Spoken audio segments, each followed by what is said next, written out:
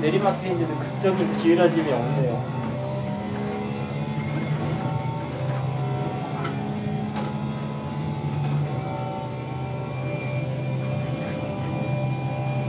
그 이게 pit이 그냥 위아래 이렇게 고전차 느낌은 지금 없는 것 같고 아, 어쨌든 네. 지금 핵심을 보고 있는 건 요거 좌우로 움직이는 지금 핵심으로 네.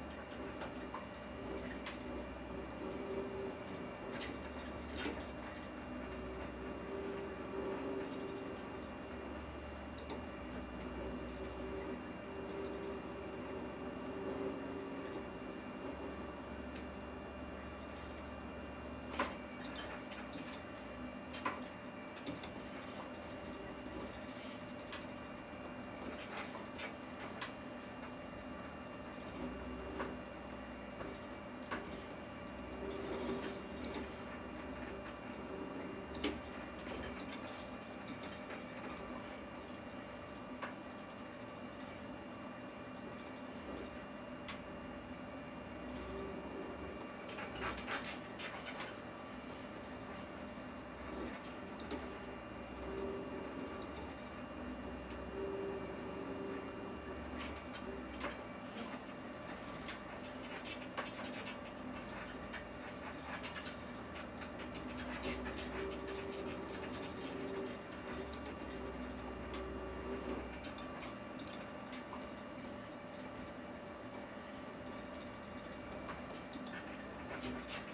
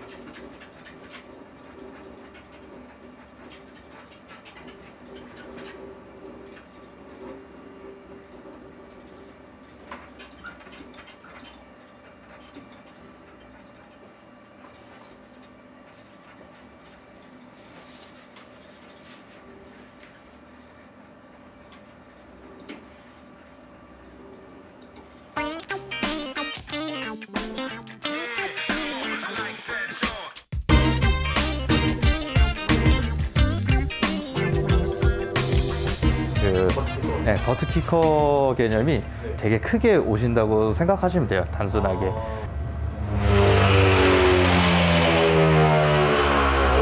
이제 시동이 꺼질 것 같은 느낌의 진동도 있어요. 네, 이런 진동도 구현이 돼 있어요.